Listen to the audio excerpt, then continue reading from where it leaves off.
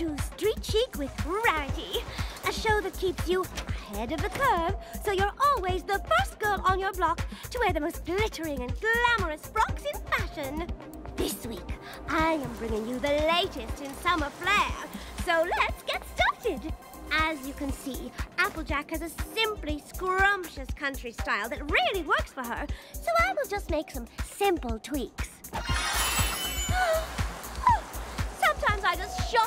Myself with how good I am. Uh, don't you think it's a pinch chilly for this getup? Nonsense! You look gorgeous and oh, so summer. Cold. Oh, you're starting to head north for the winter. It may be fall, darling, but we in the fashion world are in summer mode, and now so are you. She's sporty, she's stylish, and she needs a sensational summer look to dazzle all the other sports. People? Uh, anyway.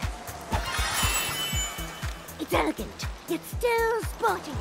She'll be bringing drama, along with the summer sun. That doesn't look like the sun to me. Ignore the nature rainbow dash. Summer chic is a state of mind. We'll see you next time on Street Chic with Rarity. Until then, don't forget to strike a pose. Uh, Rarity, you got anything for winter? Remind me to do our photo shoots indoors from now on.